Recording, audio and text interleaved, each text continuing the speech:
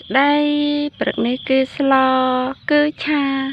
លឹកបាសនឹងតកួនសាច់ជ្រូកងើបពីព្រឹកបេះអឺបន្លែទេនេះនេះនេះឥឡូវកូនចៅគេមកអ៊ុតទៅនេះអេ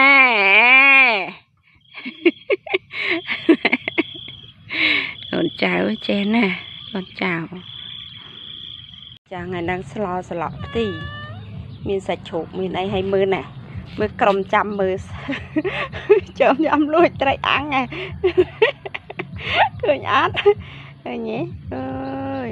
ព្រឹកហ្នឹងអញ្ចឹងព្រឹកហ្នឹងលពលមានស្លក់គ្រប់នេះបន្លែអីយ៉ាងគ្រប់បែបស្រែយើងញ៉ាំបេះនៅក្នុងផ្ទះខ្ញុំមើលមើលមើលមើលក្រុមគេណែមើលណែមើលមើលមើលណែមើលមុខគេមកមើលមុខគេមក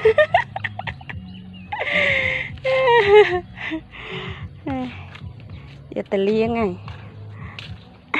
នៅមានមួយទៀតឯនៅដេកចាំចេះណាស់